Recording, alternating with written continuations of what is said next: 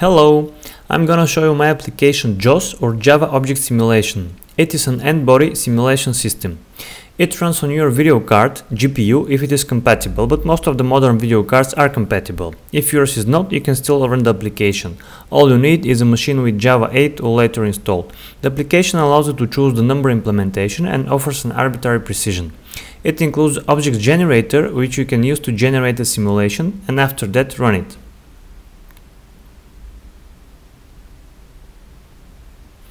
You can configure the playing speed and also can see the object trajectories. You can save the simulation properties or simulation run itself and play it later. The application uses the common JSON format which allows you to easily prepare an input file with desired number of objects and their velocities. The download link is in the description of the video.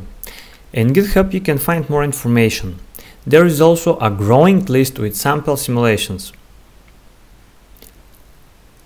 I'll be very thankful if you share what you think about the application and also if you have any idea what simulation to run, don't hesitate to share it in the comments.